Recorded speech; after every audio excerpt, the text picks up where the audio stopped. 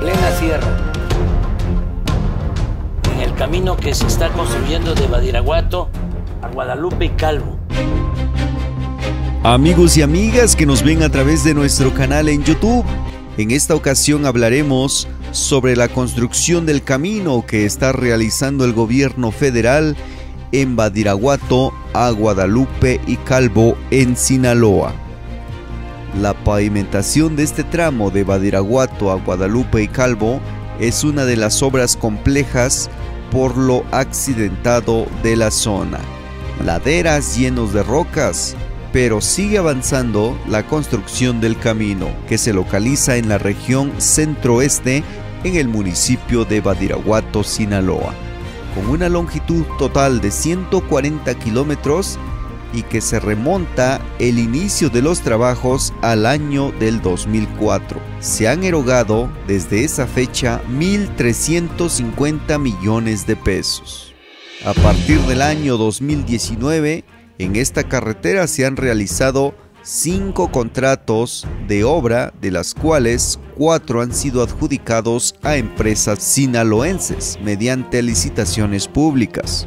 El proyecto para modernizar este camino rural de Badiraguato, límite de los estados de Sinaloa y Durango, como parte del eje interestatal Culiacán-Parral, dará comunicación a 19 comunidades y beneficiará de forma directa a 100.000 habitantes de comunidades de los estados de Sinaloa, de Chihuahua y Durango, y de forma indirecta a muchísimos más.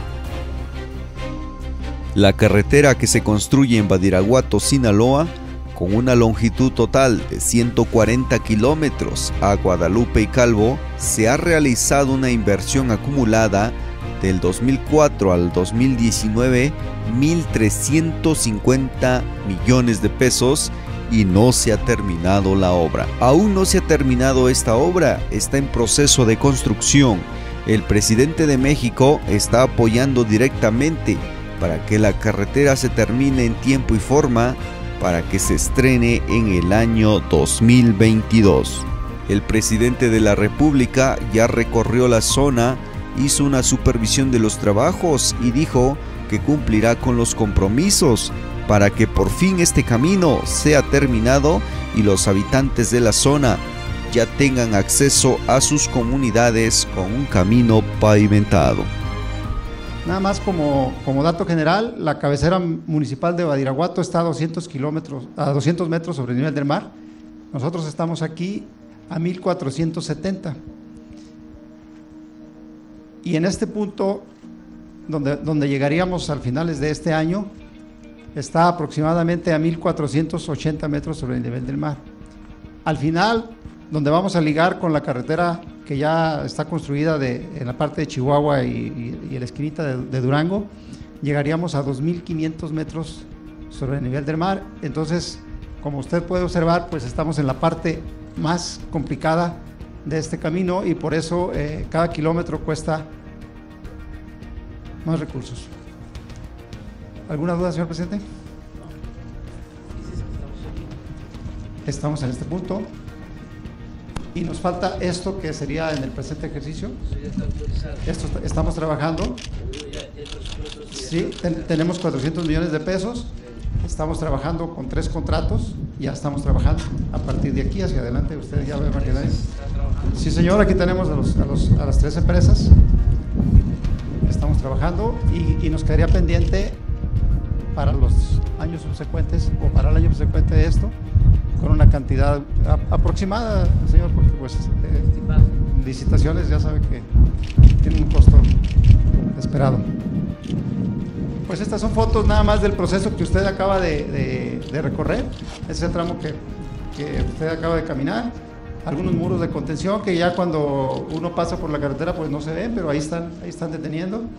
Eh, equipo de barrenación, equipo de extracción de materiales y finalmente pues tramos concluidos como los que acaba de... de, de no, no omito comentarle que eh, por proceso de construcción y de economía se decidió eh, como primera etapa abrir a nivel terracería, que es el costo mayor en este tipo de obras y una vez que ya se tenga gran parte se pavimentará para que eh, también económicamente sea más conveniente traer el equipo.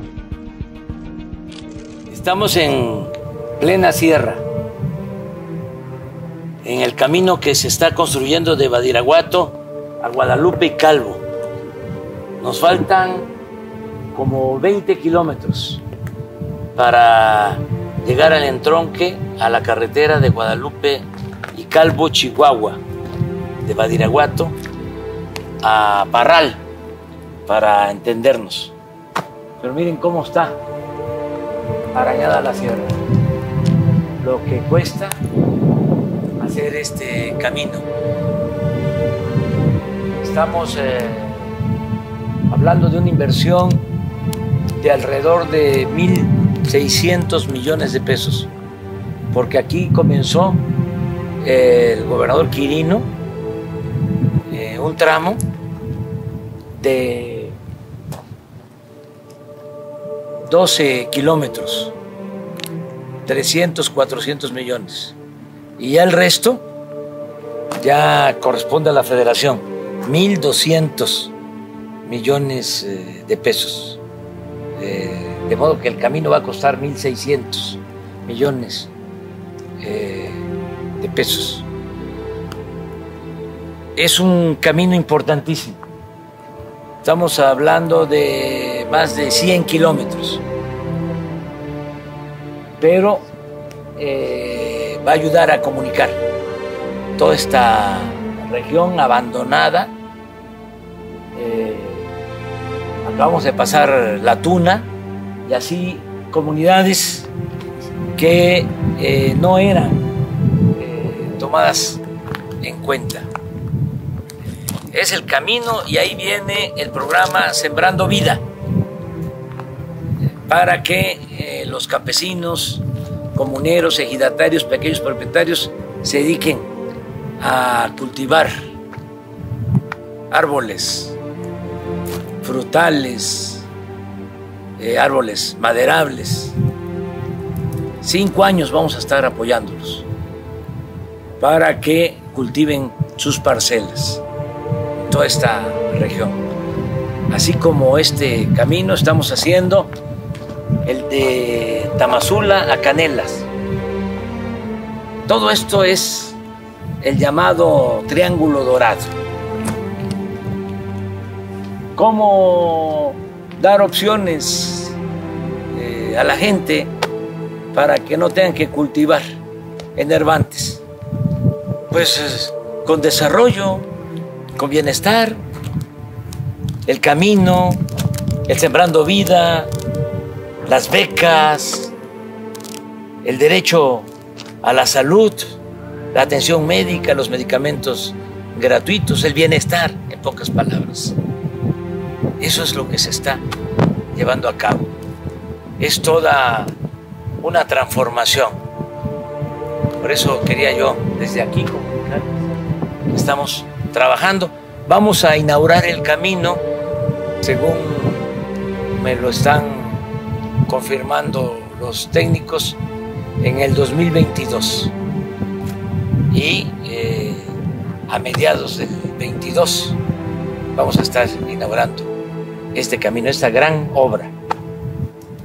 Un saludo.